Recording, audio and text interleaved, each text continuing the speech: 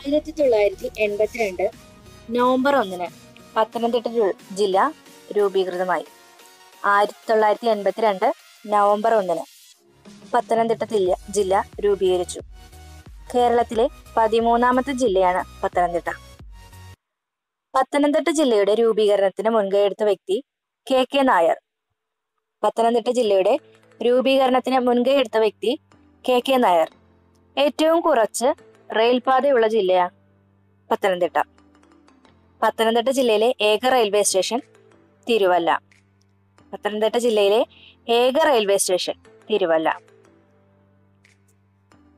കടൽ തീരമില്ലാത്ത ജില്ലകളിൽ തെക്കേ അറ്റത്തുള്ള ജില്ല പത്തനംതിട്ട. മൂഴിയാർ ഡാം കക്കാട് പദ്ധതി എന്നിവ സ്ഥിതി ചെയ്യുന്ന ജില്ല പത്തനംതിട്ട. മൂഴിയാർ ഡാം കക്കാട് പദ്ധതി എന്നിവ സ്ഥിതി ചെയ്യുന്ന ജില്ല പത്തനംതിട്ട. ശബരിഗിരി പദ്ധതി സ്ഥിതി ചെയ്യുന്നത് പമ്പാ നദിയിലാണ്. ശബരിഗിരി പദ്ധതി സ്ഥിതി ചെയ്യുന്ന നദിയാണ് പമ്പാ നദി. ജലത്തിലെ പൂരം എന്നറിയപ്പെടുന്നത് ആറന്മുള ഉത്രട്ടാതി വള്ളംകളി. ജലത്തിലെ പൂരം എന്നറിയപ്പെടുന്നത് ആളം ആറന്മുള ഉത്രട്ടാതി വള്ളംകളി. ഓളപ്പരപ്പിലെ ഒളിമ്പിക്സ് എന്നറിയപ്പെടുന്നത് നെഹ്റു ട്രോഫി. പാർത്ഥസാരഥി ക്ഷേത്രം സ്ഥിതി ചെയ്യുന്നത് ആറന്മുള പത്തനംതിട്ട. തീർത്ഥാടന ടൂറിസത്തിന്റെ ആസ്ഥാനം എന്നറിയപ്പെടുന്നത് പത്തനംതിട്ട ജില്ല. തീർത്ഥാടന ടൂറിസത്തിന്റെ ആസ്ഥാനം എന്നറിയപ്പെടുന്നത് പത്തനംതിട്ട ജില്ല. കേരളത്തിൽ നീളത്തിൽ മൂന്നാം സ്ഥാനത്തുള്ള നദിയാണ് പമ്പ. നീളത്തിൽ മൂന്നാം സ്ഥാനത്തുള്ള നദി പമ്പ. മധ്യ തിരുവിതാംകൂറിന്റെ ജീവനാടി എന്നറിയപ്പെടുന്ന നദി പമ്പ. മധ്യ തിരുവിതാംകൂറിന്റെ ജീവനാടി എന്നറിയപ്പെടുന്ന നദി പമ്പ. മധ്യ തിരുവിതാംകൂറിന്റെ ജീവരേഖ എന്നറിയപ്പെടുന്ന റോഡ് ടി കെ റോഡ്. മധ്യ തിരുവിതാംകൂറിന്റെ ജീവരേഖ എന്നറിയപ്പെടുന്ന റോഡ് ടി കെ റോഡ്. മധ്യ തിരുവിതാംകൂറിന്റെ ജീവനാടി എന്നറിയപ്പെടുന്ന നദി പമ്പ. കേരളത്തിലെ താറാവ് വളർത്തു കേന്ദ്രം നിരണം. കേരളത്തിലെ താറാവ് വളർത്തൽ കേന്ദ്രം നിരണം. നിരണ കവികളുടെ ജന്മദേശം പത്തനംതിട്ട. നിരണ കവികളുടെ ജന്മദേശം പത്തനംതിട്ട. ഇന്ത്യയിൽ സീറോ ജനസംഖ്യ വളർച്ചാ നിരക്ക് കൈവരിച്ച ആദ്യ ജില്ലയാണ് പത്തനംതിട്ട. ഇന്ത്യയിൽ സീറോ ജനസംഖ്യ വളർച്ചാ നിരക്ക് കൈവരിച്ച ആദ്യ ജില്ലയാണ് പത്തനംതിട്ട. കേരളത്തിൽ ഏറ്റവും കൂടുതൽ റിസർവ് വനമുള്ള ജില്ലയാണ് പത്തനംതിട്ട.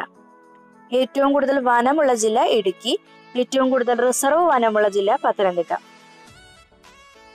ഇന്ത്യയിലെ ആദ്യത്തെ പോളിയോ വിമുക്ത ജില്ലയാണ് പത്തനംതിട്ട. ഇന്ത്യയിലെ ആദ്യ പോളിയോ വിമുക്ത ജില്ല പത്തനംതിട്ട. പെരുന്തേനരുവി വെള്ളച്ചാട്ടം പത്തനംതിട്ട ജില്ലയിലാണ്. പെരുന്തേനരുവി വെള്ളച്ചാട്ടം പത്തനംതിട്ട ജില്ലയിൽ. ഏഷ്യയിലെ ഏറ്റവും വലിയ ക്രൈസ്തവ സമ്മേളനം. മാരാമൻ കൺവെൻഷൻ. ഏഷ്യയിലെ ഏറ്റവും വലിയ ക്രൈസ്തവ സമ്മേളനമാണ് മാരാമൻ കൺവെൻഷൻ. ലോകത്തിലെ തന്നെ രണ്ടാമത്തെ ക്രൈസ്തവ സമ്മേളനമാണ് മാരാമൻ കൺവെൻഷൻ. മാരാമൻ കൺവെൻഷൻ നടക്കുന്നത് പമ്പയുടെ തീരത്താണ്. മാരാമൻ കൺവെൻഷൻ സംഘടിപ്പിക്കുന്ന മാർത്താമ ചർച്ചാണ്. കേരളത്തിലെ ഏറ്റവും വലിയ ഹിന്ദുമത സമ്മേളനമാണ് ചെറുകോൽപ്പുഴ. ചെറുകോൽപ്പുഴ ഹിന്ദുമത സമ്മേളനം നടക്കുന്നത് പമ്പയുടെ തീരത്താണ്. ആറന്മുള കണ്ണാടി നിർമ്മിച്ചിരിക്കുന്നത് ലോഹക്കൂട്ടുകൾ ഉപയോഗിച്ചാണ്. വാസ്തുവിദ്യ ഗുരുകുലം സ്ഥിതി ചെയ്യുന്നത് ആറന്മുള പടയണിക്ക് പ്രസിദ്ധമായ കടവനട്ട ദേവീക്ഷേത്രം സ്ഥിതി ചെയ്യുന്നത് പത്തനംതിട്ട. പടയണിക്ക് പ്രസിദ്ധമായ കടവനട്ട ദേവീക്ഷേത്രം സ്ഥിതി ചെയ്യുന്നത് പത്തനംതിട്ട. ദക്ഷിണ കുംഭമേള എന്നറിയപ്പെടുന്നത് ശബരിമല മകരവിളക്ക്. ശബരിമല മകരവിളക്ക് ദക്ഷിണ കുംഭമേള എന്നറിയപ്പെടുന്നു. ഇന്ത്യയിൽ സീസണിൽ വരുമാനം കൂടുതലുള്ള ക്ഷേത്രം. ഇന്ത്യയിൽ സീസണിൽ വരുമാനം ഏറ്റവും കൂടുതലുള്ള ക്ഷേത്രം ശബരിമല ക്ഷേത്രം. ശബരിമല സ്ഥിതി ചെയ്യുന്ന താലൂക്ക് റാന്നി പത്തനംതിട്ട. കേരളത്തിലെ ഏറ്റവും വിസ്തൃതി കൂടിയ വനം ഡിവിഷനാണ് റാന്നി. കേരളത്തിലെ ഏറ്റവും വിസ്തൃതി കൂടിയ വനം ഡിവിഷനാണ് റാന്നി. വേലുത്തമ്പി ദളവയുടെ മരണം നടന്ന സ്ഥലമാണ് മണ്ണടി പത്തനംതിട്ട. മണ്ണടി പത്തനംതിട്ട. ദക്ഷിണ ഭഗീരഥി എന്നറിയപ്പെടുന്ന നദിയാണ് പമ്പ. ദക്ഷിണ ഭഗീരഥി എന്നറിയപ്പെടുന്ന നദി പമ്പ. ബാരിസ് എന്നറിയപ്പെട്ടിരുന്ന നദി പമ്പ.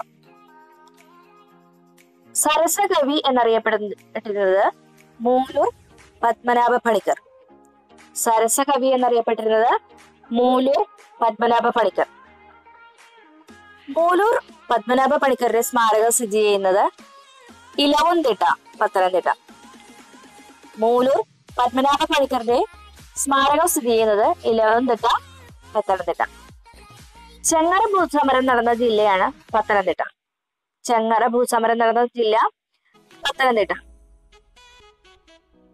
കേരളത്തിലെ ആദ്യത്തെ സ്വകാര്യ ജലവൈദ്യുത പദ്ധതി മണിയാർ സ്ഥിതി ചെയ്യുന്നത് പത്തനംതിട്ട ജില്ലയിൽ. പത്തനംതിട്ട ജില്ലയിലെ ഏക ഹിൽ സ്റ്റേഷനാണ് ചരൽക്കുന്ന്.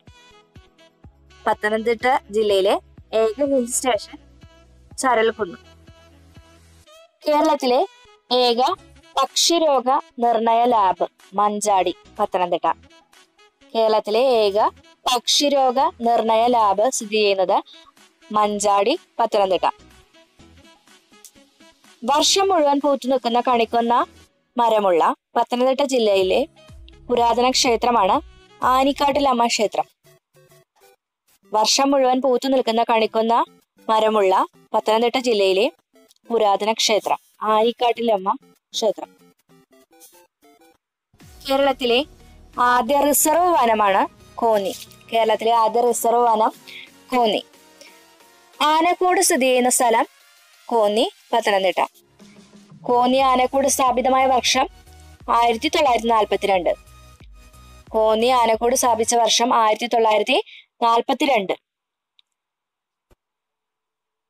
കോന്നി ആനത്താവളത്തെ കുറിച്ച് പ്രതിപാദിക്കുന്ന പുസ്തകം ഐതിഹ്യമാല. കോന്നി ആനത്താവളത്തെ കുറിച്ച് പ്രതിപാദിക്കുന്ന പുസ്തകം ഐതിഹ്യമാല. പോർച്ചുഗലിന് ഭാരതത്തിന്റെ സമ്മാനമായി കോന്നി ആനക്കൂടിൽ നിന്ന് നൽകിയ ആനയാണ് സംയുക്ത. ഗവി ഇക്കോ ടൂറിസം പദ്ധതി നടപ്പിലാക്കിയിരുന്ന ജില്ല പത്തനംതിട്ട.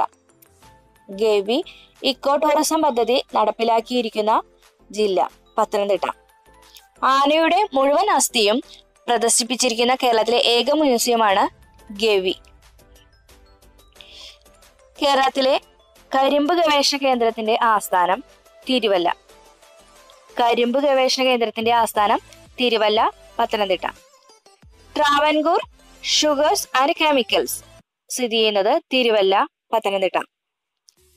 മന്നം ഷുഗർ മില്ലിന്റെ ആസ്ഥാനം പന്തളം പത്തനംതിട്ട.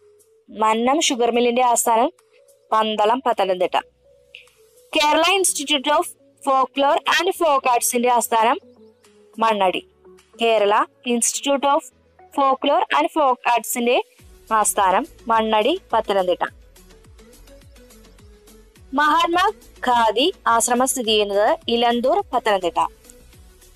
മഹാത്മാ ഖാദി ആശ്രമം സ്ഥിതി ചെയ്യുന്നത് ഇലന്തൂർ പത്തനംതിട്ട. മഹാത്മാഗാന്ധിയുടെ നിർദ്ദേശം അനുസരിച്ച് മഹാത്മാ ഖാദി ആശ്രമം സ്ഥാപിച്ചത് ടി പി ഗോപാലപിള്ള. മഹാത്മാഗാന്ധിയുടെ നിർദ്ദേശമനുസരിച്ച് മഹാത്മാ ഖാദി ആശ്രമം സ്ഥാപിച്ചത് ടി പി ഗോപാലപിള്ള.